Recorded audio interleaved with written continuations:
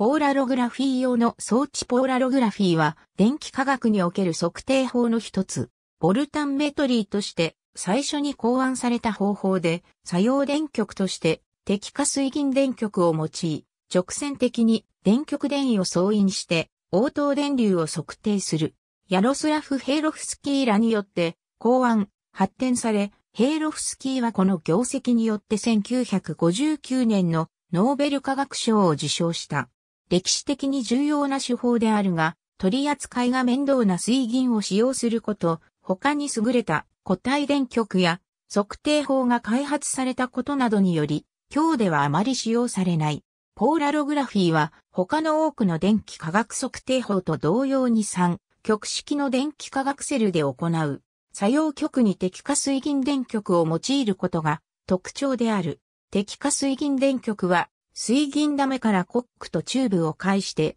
ガラスキャピラリーを接続したもので、キャピラリー先端から水銀が適化するようになっている。コックで水銀が数秒に一滴の割合で適化するように調整する。キャピラリーの先端を電解液に浸し、水銀ダメにポテンシオスタットから電位を引火すれば、キャピラリー先端の水銀雫が作用電極として作用する。適化した水銀は、電気化学セル下部に設置した受け皿に貯める。ポーラログラフィーの結果として得られる電位、電流曲線をポーラログラムという。他の電気化学測定法とは異なり、ポーラログラフィーでは作用電極である水銀雫の表面積が時間とともに変化するため、ポーラログラムは電極反応と電極表面積変化を反映したものとなり、水銀雫成長時の電流増加と適化時の急激な電流現象が規則的に現れる。ただし、一般的なポーラログラフィーでは電位を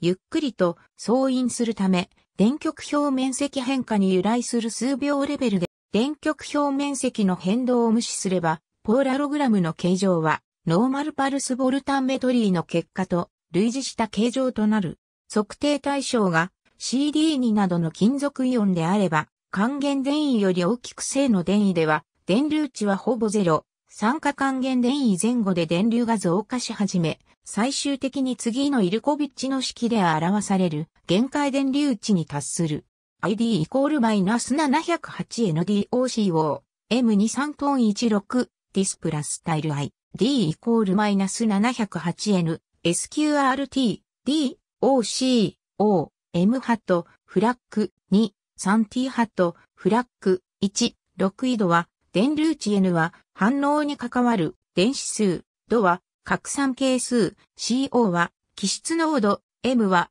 水銀の流出速度 t は時間である。イルコビッチの式は、コットレルの式を、適化水銀電極に由来する表面積変化と拡散層の減少を考慮して修正したものである。ポーラログラフィーでは、適化水銀電極を用いるために、電極反応は常に新しい表面で進行する。このため、固体電極でしばしば生じる電極表面への吸着、等の影響を避けることができる。また、水銀は、白金等に比べて大きな水素発生化電圧を持つため、ただし、水銀に他の金属が混入してアマルガムになると性能が劣化するため、扱いには注意を要する。IUPAC ゴールドブックポーラログラフィー。ありがとうございます。